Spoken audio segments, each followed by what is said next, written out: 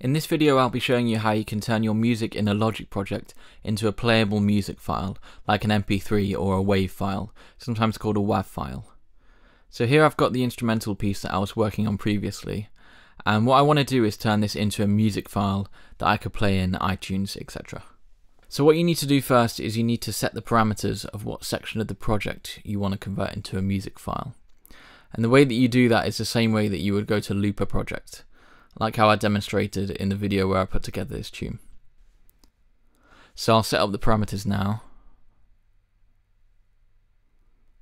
And if you were exporting a track with a mind to having it mastered, uh, then you would give yourself a bit of extra space, because things like trimming the start and end of a track tend to be done in the mastering stage. So maybe something like that. But if you just want to export a really quick MP3 for yourself or to show your friends or something, then it doesn't really matter so much, I guess, as long as you're covering what you want to be covered in the track. So I'll just trim that down a bit now.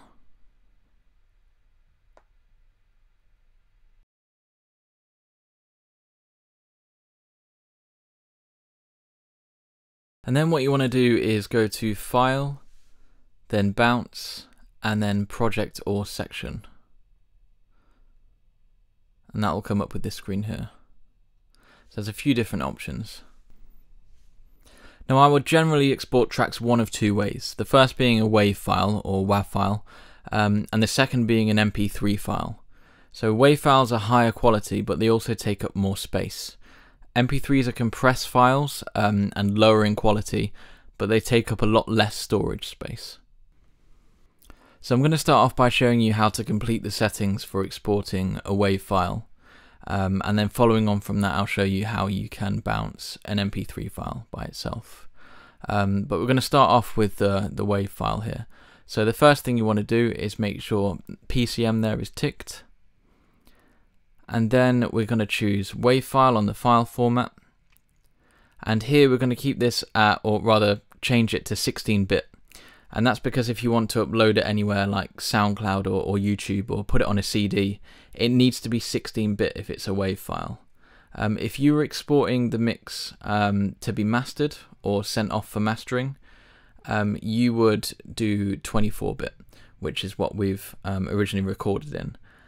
And then the required reduction to the 16-bit would happen at the end of the mastering process when you're exporting the track then but we're just going to change this to 16-bit.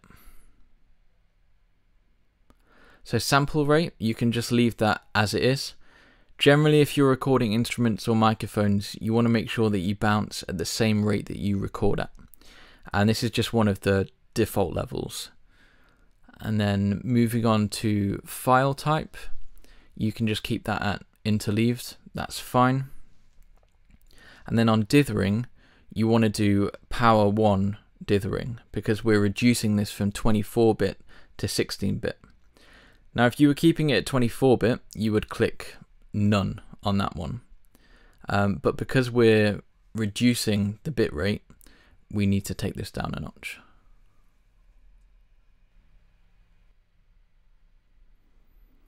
And where it says mode on uh, the left here, so there are two options real time and offline. So the difference here is that the real time bounce exports the track in obviously real time. So it will actually play the track out loud for you in its entirety. And at the same time it does that, it will export. So it will export as it goes along.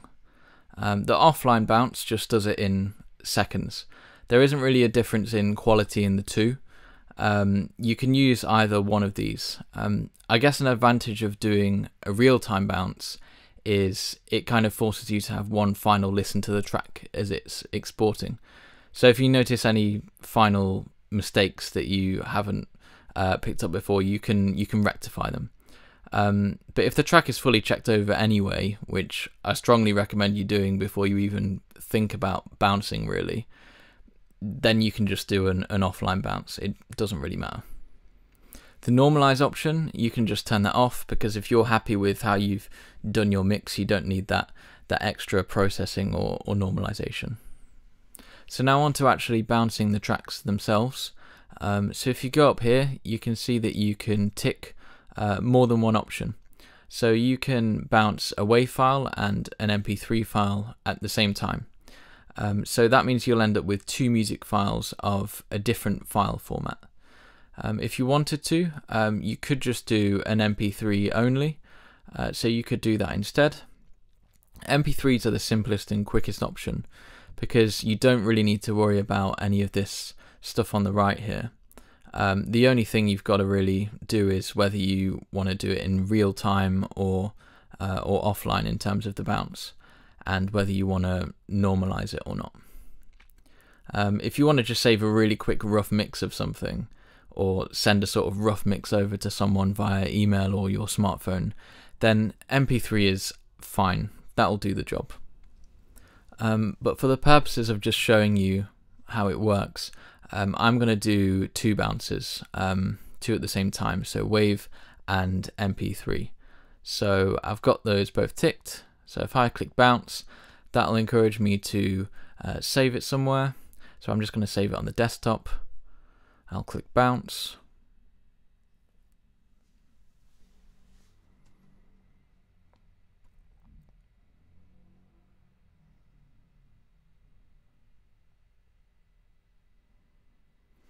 And then that should have worked. So if I just uh, come out of Logic here, those two music files are on my desktop. So the WAV file and the MP3 file. So as I said before, um, WAV files are better quality than MP3, but they do take up more space. Um, if you were uploading something more permanent, let's say if you're uploading a track to SoundCloud or YouTube, I would upload the WAV file. If you just want to email or send something quickly to someone, I would probably just stick with the MP3. Um, so you can send those over email and WhatsApp, etc., in almost no time at all. And also, it won't clog up yours or anyone else's device storage. Um, sometimes, if I've got some quick demos that I've made and I just want to stick them on my phone to listen to when I'm out and about, I'll just do an MP3 um, because I might not necessarily need them to be of superior audio quality at that time. It's quick and it doesn't max out my storage capacity as quickly. But let's say you've got a, a final mix that you're going to send off for mastering, um, then you must make sure it's the WAV file and not an MP3 file.